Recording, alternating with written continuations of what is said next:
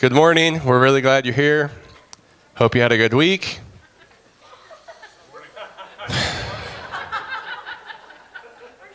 Posture means a lot, doesn't it?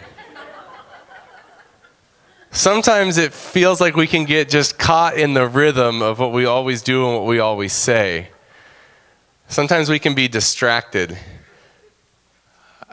Let's remember that our posture is important, not just the posture of our bodies or the posture of our faces, but the posture of our hearts as we come here as God's people. If this is your first Sunday, that, that's not usually how we begin. Uh, we're glad you're here. If it is your first Sunday, uh, I want to encourage you to fill out a communication card, a connection card. Drop it by the Information Center. Uh, we'd love to, to connect with you. Can I get an amen? Sometimes it's just easy to get caught up in what we always do every week. We always watch the countdown timer and it starts and the music starts and we sing some songs, some we like, some we don't like. We just sing. We stand sometimes for too long, sometimes not long enough, and then we sit and then we have the announcements and then we look at the gather scatter graph and then we listen to the message and then we go home and we get in our cars and we go about our weeks and then we come back next week. God is so much more active and alive than that meaningless rhythm. Thank you. Amen. So I, I just want to encourage you uh, if, if your heart is kind of wrapped up like the first bill that got up here, I want to encourage you. You have the Holy Spirit inside of you, brother and sister. Uh, listen to God because He is speaking to us. We're excited for what God is up to in our church body. We're very excited what He's doing. Uh, there's a lot of announcements in your bulletin. Please read those. They're, they're very important. They're the primary way we communicate uh, the good things going on. Operation Rolling Thunder, praying for our whole county, our whole world, uh, is on Thursday. There are new prayer, uh, prayer guides available in the foyer. Uh, men's group for a Christmas hymn sing. The practice is Saturday at 10 a.m. And uh, I want to talk to you a little bit about life groups. Pastor Tyler's been talking about life groups and the importance of life groups. I have to tell you that there was a point in my life uh, when I was a Christian that I thought that small groups, life groups, were a complete waste of time. That I didn't want to listen to a bunch of people's feelings. I didn't want to sit around and talk about what uh, other people thought. I just I wanted to go to church, do my thing, and move on. Uh, and then it was required that I was a part of a small group and it radically changed my view on Christian growth. And I want to encourage you if you think that life groups are a waste of time, uh, give, give this sign up a try. Uh, I can guarantee it's not a waste of time.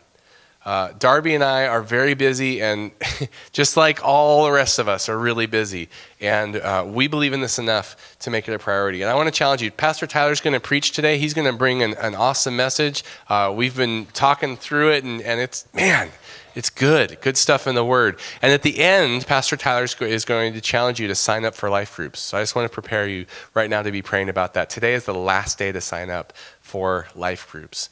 Uh, young, old, kids, no kids, we want everybody because we are a diverse church family. We're in it together. Amen? All right, I've done enough talking.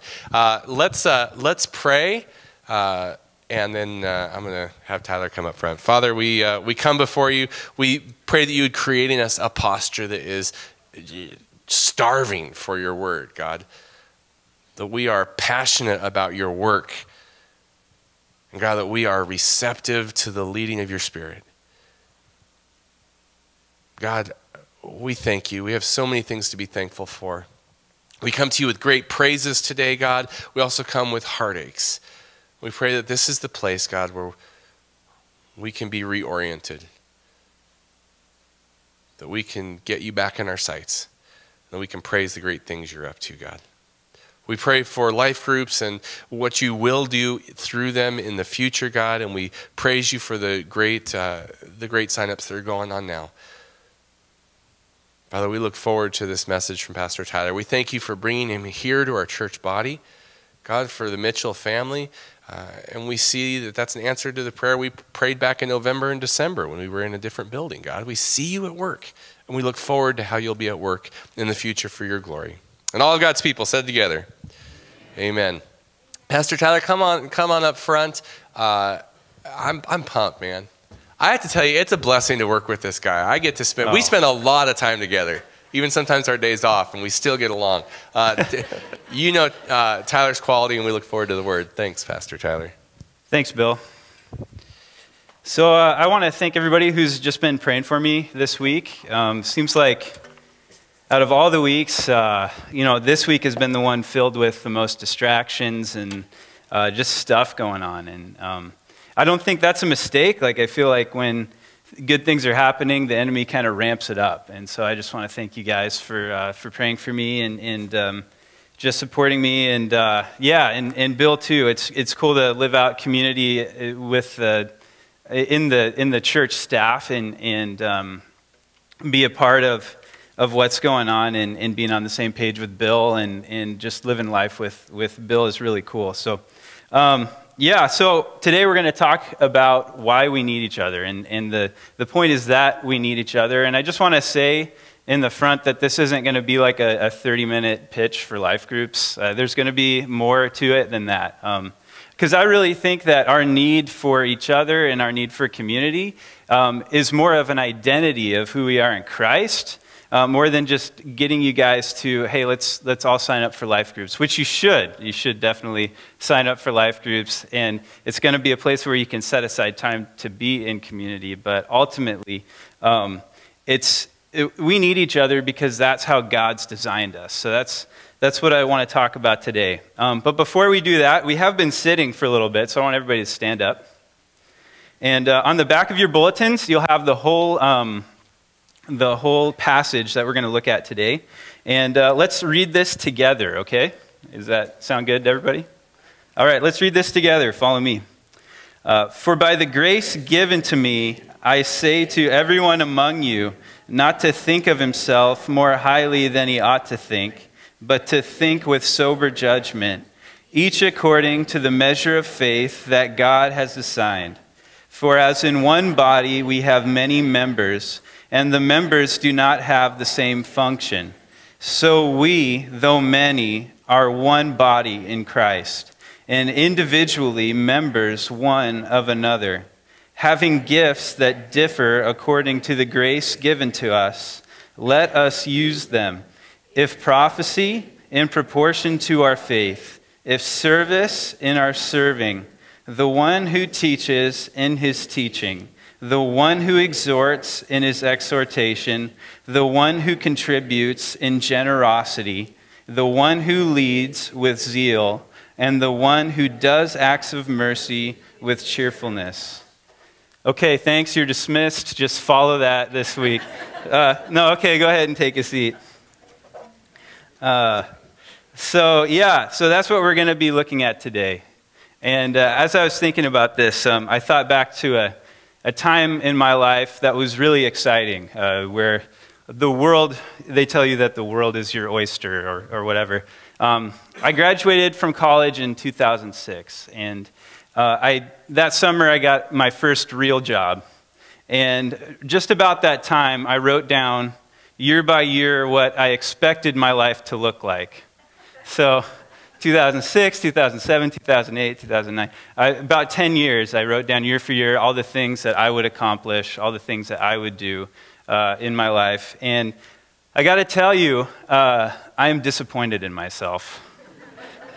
I, I, am. I had written out basically this dream scenario where I would. Uh, uh, where I would serve in the mission field for six months out of the year in Europe, somewhere, you know, really hard like Europe.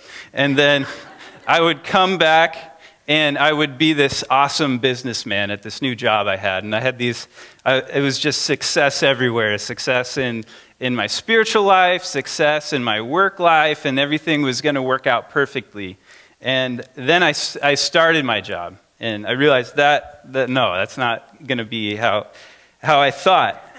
Um, yeah, that first year, uh, actually, I just kind of spun that whole vision on, on its head. Uh, we, Bonnie and I were a part of a really awesome uh, Christian community um, at, at, college, and then when we left college, um, we moved up about an hour and a half away to Portland, and uh, we were just kind of cut off from that community, and um, and I, I started working these insane work weeks and just got tired out. And, you know, when I did have free time, I didn't want to spend it reading my Bible or, or spending it in prayer. I just wanted to veg out, you know. And uh, I just wanted to survive. I didn't, I, it wasn't really, uh, didn't really feel that challenge like, okay, I should be like pouring out all my stress and anxiety to the Lord. Uh, you know, at the same time, Bonnie was uh, was really sick with vertigo to the point where any free time she had, she was asleep. You know, she just had to rest. She couldn't do anything. So it was this really dry time um, in my life. And, and as I continue on, um, you know, looking at my year by year plan, I'm getting, you know, I see this like further and further off the goals that I had set.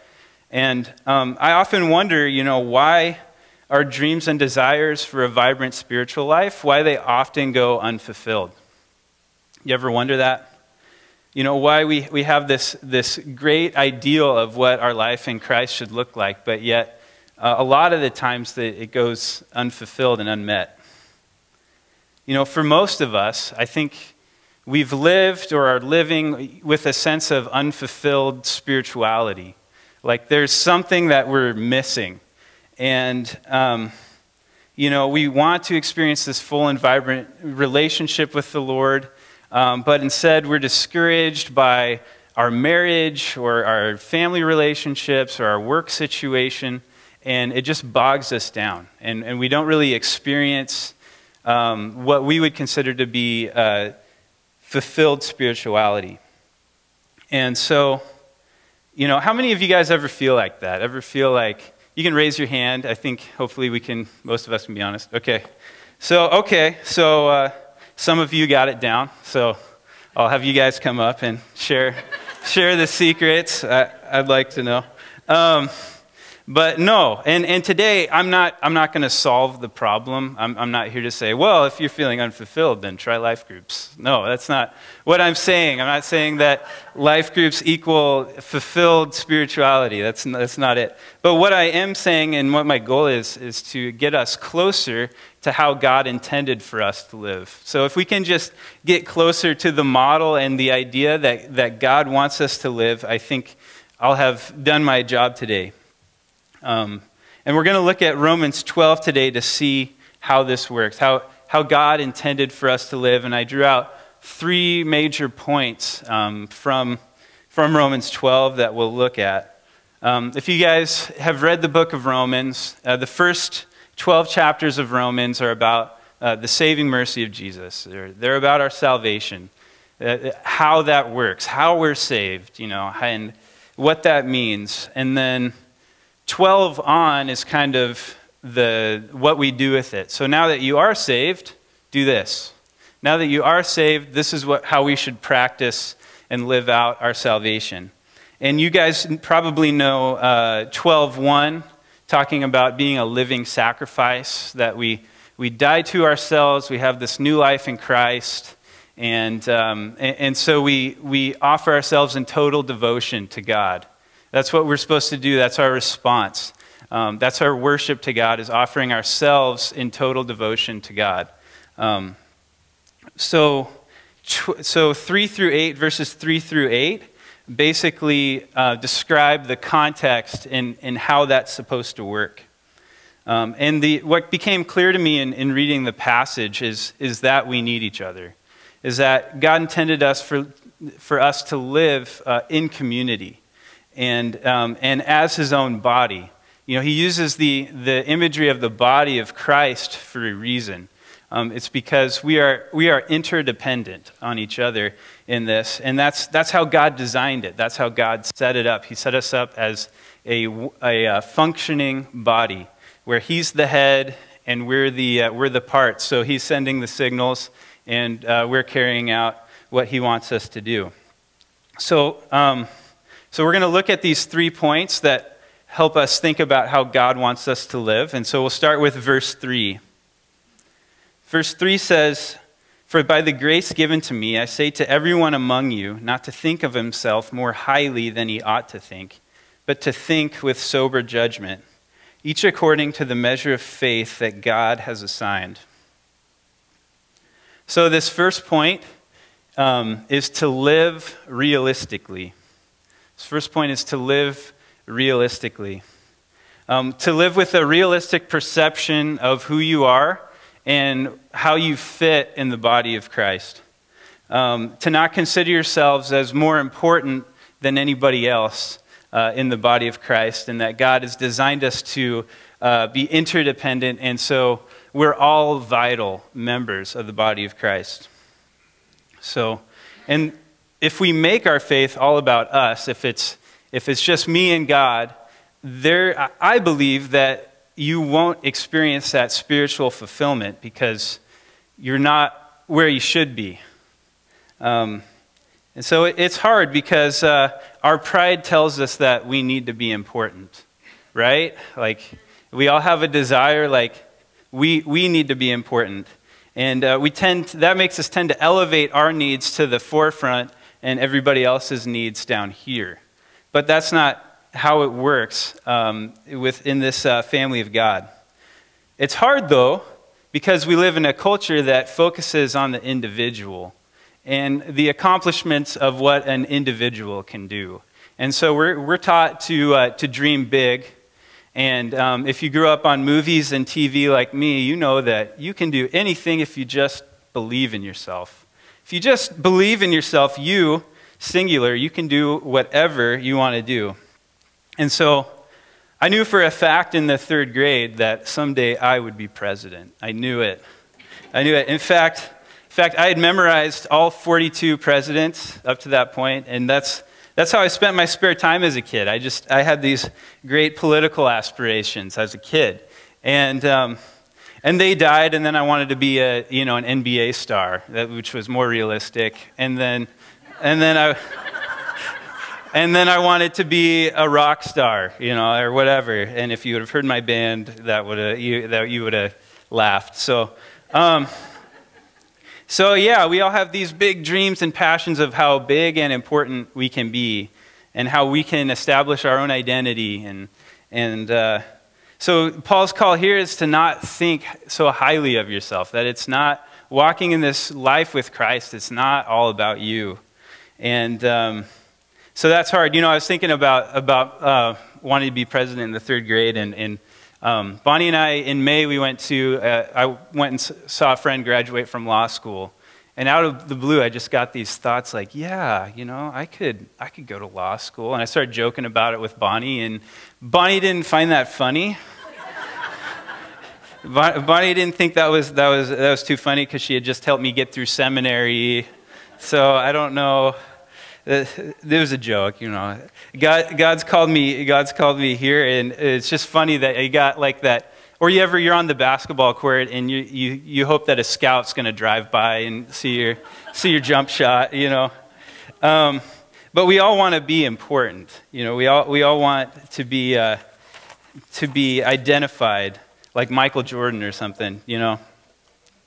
And when it comes to our uh, spiritual life, uh, we make it often about our own individual accomplishments and all about what we do.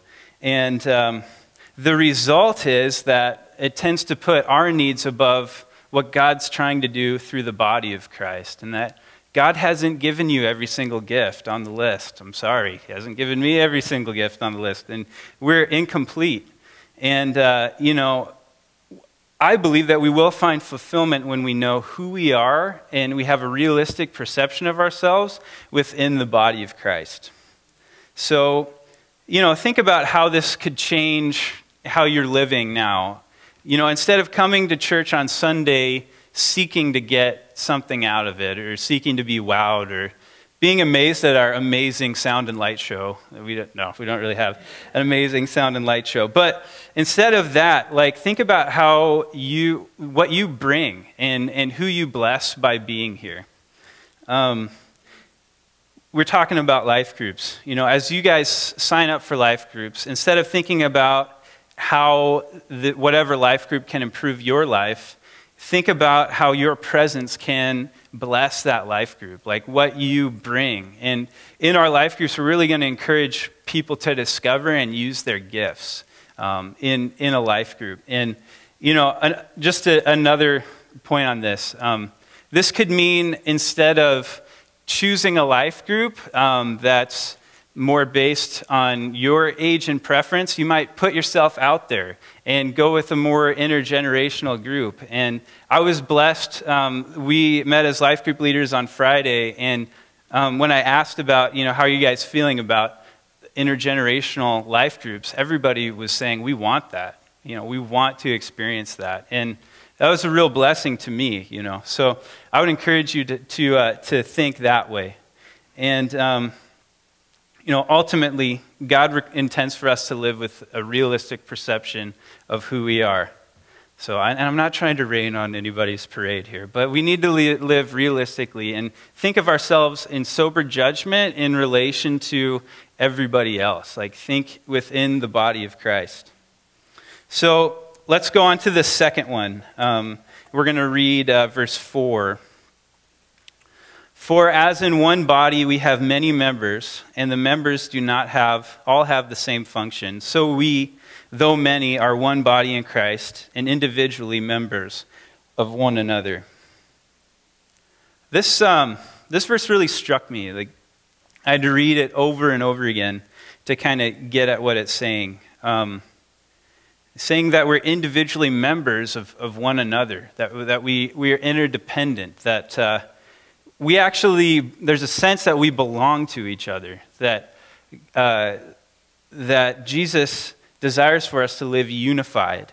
And, um, you know, we often talk about that and we understand that in marriage, you know, how the two shall become one. But, you know, if you think about a body, if I was to come up here and pull my spleen out, Let's just say I have my spleen right here.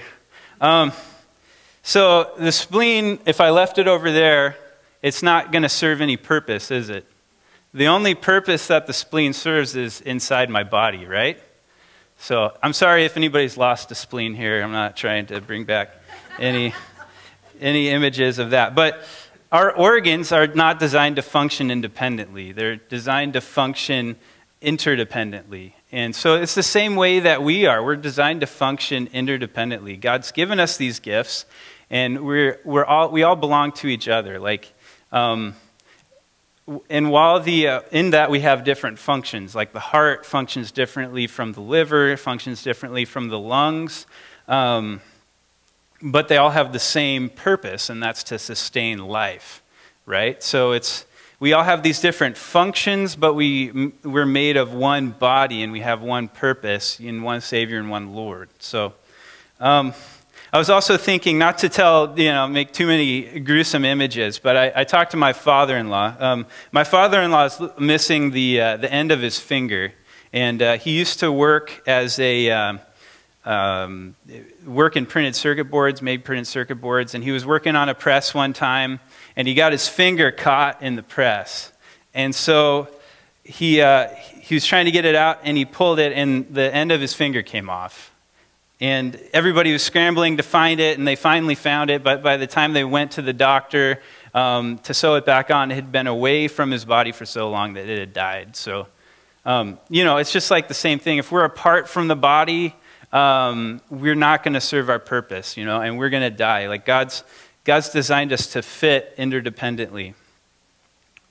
So, and I think one of the major reasons we feel spiritually unfulfilled or isolated is because we don't understand what our function is in the body of Christ. And, and to do that, we need to be in community and we need to be serving together. So, um, the, we do let things get in the way, don't we? We sometimes we let uh, like the early church, like 1 Corinthians, Paul went after um, the people had established gaps between themselves based on wealth and economy, and sometimes we let those things get in the way.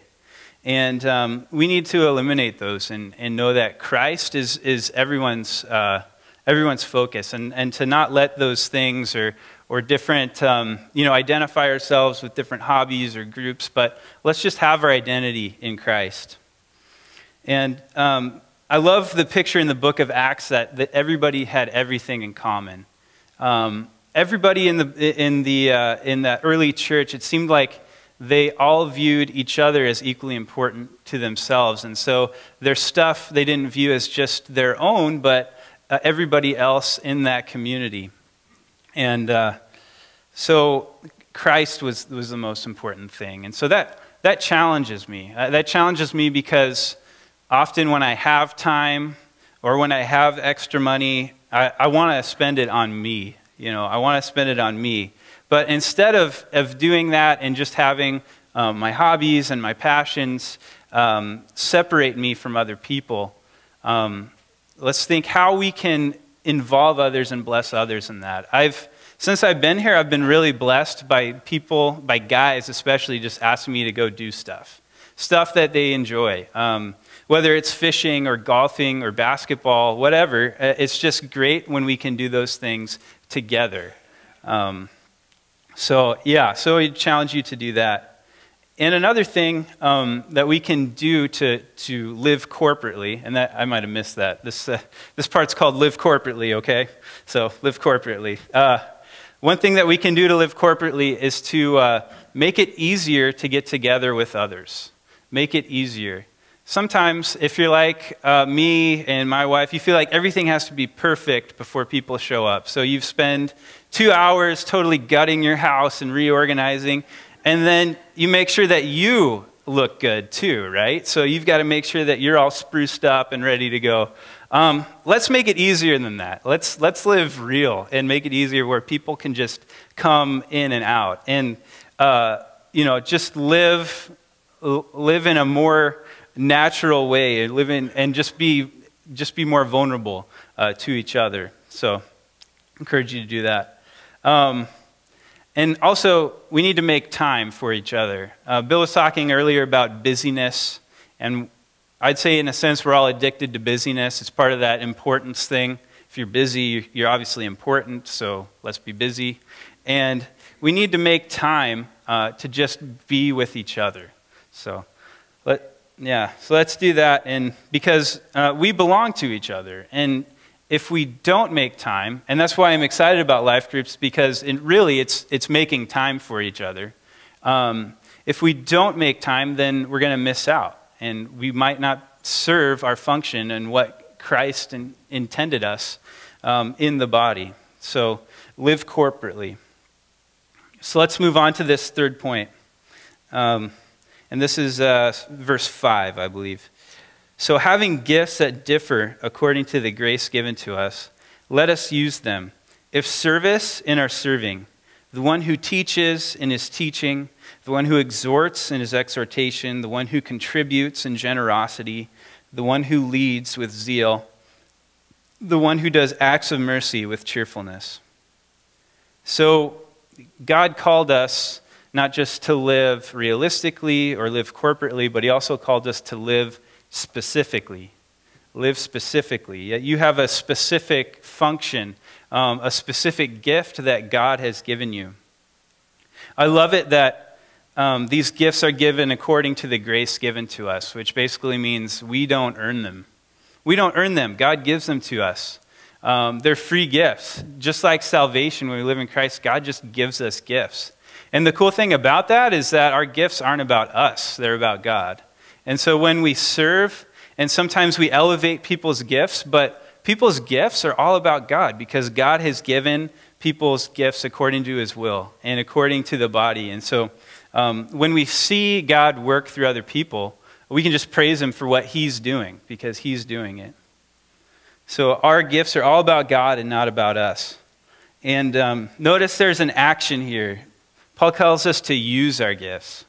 So it's possible to have our gifts and not use them. It's possible to have gifts and, and not use them. And Paul is calling us to use those gifts and to serve their specific purpose in the body of Christ. So this goes beyond knowing what our gifts are, it goes into putting them to use.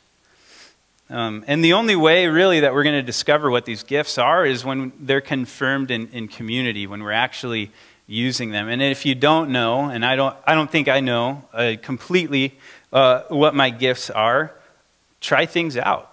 It's that easy. Just serve together. And, um, you know, again, this message isn't about life groups, but life groups will be a great context in which to, uh, to try these gifts out, where we're, we are setting aside time to serve together. Um, so, yeah, use your gifts. And uh, this, what this also means is that uh, we need to focus on how we're gifted and protect that. Um, I'm really glad that Kevin's uh, teaching a boundaries class because I think it's really important. A lot of times we're asked to do things that are outside of what God's intended for us. And um, being nice people, we like to say yes, at least I do. Um, but God's called us to live specifically. And so to know how He's gifted us and to reserve our time and our energy to serve in those gifts. And I'm not saying that there won't be times where you won't serve in, a, in somewhere outside of your gifting, but I think the message here is to focus on your strengths. Um, because God cares about how we do something, as, as, he, uh, as He shares here. You know, the one who teaches and is teaching, the one who exhorts in his exhortation, service. And, and the attitude here is, is joy. The attitude is joy. Uh, people are doing these things because they actually enjoy them, they want to do them. And so to do that, I, I really feel like God's, God needs to have gifted you. Um, because if you, if you serve too much outside of your gifts, uh, you're going to burn out. You're going to burn out. Um, I used to be a recruiter and um, for a staffing company, and so we'd line people up for different jobs. And, and our slogan as a staffing company was "People fit perfectly." We're going to find the exact, the, the right specific person for your job. But sometimes when you're running up against deadlines and you just got to get somebody out there, um, we came up with this slogan called Make It Fit. Well, if, if they're not perfect, that's okay. We're just going to make it fit. And so we'd put people out there, and, you know, generally they didn't stay on the job too long, you know, but we had to hit those deadlines, right? So we, we, had, to, we had to make it fit. So let's not make it fit with our spiritual life. You know, let's not be so attached to uh, programs and doing things a certain way that we have to make somebody fit into that um, fit into that system. So, and I love that Paul wants us to use our gifts to the best that we can. Um, I was really caught by the uh, the leading, the one who leads with zeal, because a lot of times I want to lead with laziness. you know, I want to I want to just get by, but but Paul calls us to use our gifts to the utmost, to the the best of our ability. So that's the uh, that's the third way in which we're supposed to live is to live specifically. So let's talk about how that applies here and now and, and in your life. And I would say that that the, the real deal here is that we're designed to need each other. And that when we go through life, we really do need each other. And not just for the support and encouragement and life that we get from each other, which we do, but other people need us. And so the, the bottom line is that we need to exchange independence for interdependence. And we need to exchange the things that would separate us for the things that can bring us together and, and live with a realistic perspective, live with a corporate perspective, and think about how we specifically serve uh, in the body. And I think this is profoundly countercultural. I, I, I, do. I think that, that this is a profound statement. You know, when um, in John 17, uh, when Jesus is praying before the Father, he prays that we may be perfectly one so that the world will know that the Father sent the Son. So when we are perfectly one, when we function like a body, that's a profound statement to the world. Like, hey, here's all these Christians and they want to be together and they serve each other and they love each other. Uh, that's different, you know, because because I'm all about me and um, elevating myself, and my identity is about what makes me different. And uh, so we need to exchange that, that sense of, of independence for interdependence within the body of Christ. And I'm just talking about the body of Christ. I mean, that's not anything political or anything like that. But within the body of Christ, we need to be interdependent. Um, you know, I was struck by a song. I've been listening to this, this band called uh, the Fleet Foxes.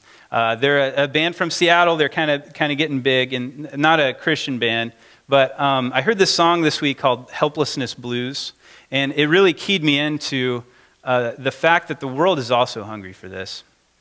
And uh, he says, um, I was raised up believing I was somehow unique, like a snowflake, distinct among snowflakes, unique in each way you can see. And now, after some thinking, I'd say I'd rather be a functioning cog in some great machinery serving something beyond me. And then he goes on to say he doesn't know what that is, but that's his desire that if my life is all about me, that's pretty lame. Like if, if my life is, is completely for my enjoyment and, and for my purpose, then, then I'm not making any difference. My life really doesn't matter outside of myself. And so it's cool because God's wired us to serve in something bigger than ourselves. And, and that's the body of Christ. And the good news is that we know what that is, that we're not scrambling and searching. We know that we're supposed to fit in the body of Christ.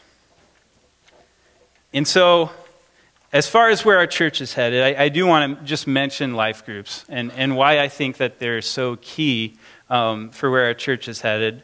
Um, because we really want the church to be a presence in the community. And um, we really want to live this out. And um, that means that we need to be together. And so, life groups is really that time to set aside time because we are people, it's reality. We have schedules, you know, we have jobs. And so, we're trying to think of how can we best live that out where we're at um, with the resources that we have. And so, it's really setting aside time to live out life in Christ. And, um, and that's the heart, is that, that each life group would be a Christ centered community. And, um, and the hope is that someday, like, most of the ministry that happens within the church will happen through life groups. Is that when people are in need, that a, a life group community that's really tight will go and visit someone in the hospital, or, or they'll go and serve, or they'll, um, you know, run nursery one night or, or reach out to our neighbors. Like, I really want to see people come to know the Lord through our life groups. And so, my, my hope today is not to guilt you into joining a life group, but just to challenge you to think about it. And um, you'll have to think fast because this is the last day to sign up. So, um, but no, uh, we, we are just really excited about what God's going to do. And um, I would say uh, this, this, um, this Friday, September 21st is going to be the life group kickoff night. Um, it, it's going to be here, 7 to 8. Uh, we're going to get together. Um, a few of the life group leaders are going to share. Are going to spend some time praying together. And then you're going to basically have a first meeting time with your, with your different life groups. And so I encourage you to come to that, um, 7 to 8. And uh, just, just join in what I feel like God is doing. You know, I, um, I talked about uh, the, this idea of life groups and um, how it, we live in and live out and live for all um, in life groups with another pastor. And um, he's excited about it. And he's like, this is what we've been looking for at our church. And so, you know, maybe, you know, they're going to start something similar. But it's just a challenge um, to really be the body of Christ and, and to, uh, to find how we function in the body of Christ. So, anyways, um, I love you guys. And uh, let me pray for us, and then we have, we have about 10 minutes where we can, uh, we can just spend some time together. So, uh, Lord, we just thank you so much, God, for what you're doing. What you're doing at Good News and in Ferndale. Um, Lord, what you're doing at Whatcom County. Uh, Lord, I thank you that you've created us uh, differently and that we all have different gifts and we all serve um, in different ways. And, and that's a beautiful thing when we all work together. And so I just pray that you would help us to, to work together as the body of Christ and, and take ownership of how you've, uh, you've gifted us, God. And, and this is all for your glory and because we love you. And so we just uh, thank you and praise you, God. Um, Lord, help us. Help us to, uh, help us to follow your will more closely, God. Um, Lord, help us to uh, find um, spiritual fulfillment, God, and, and what that means, Father. Lord, help us to redefine what we're looking for, God. Um, and Lord, just go before us um, and be speaking to us this week, God. Um, I just pray, God, as as uh, life groups start, Lord, that you would you your hand would be in it, and uh, Lord, we're just excited, God, of Um, I feel like you've been here with us today, Father. I know you have. And so we just uh, praise you um, in Jesus' name. Amen. All right, well, you're dismissed. So have a great week. Well, I guess, I guess actually, let me say, the kids will be dismissed in 10 minutes. So you're actually dismissed to talk amongst yourselves. So.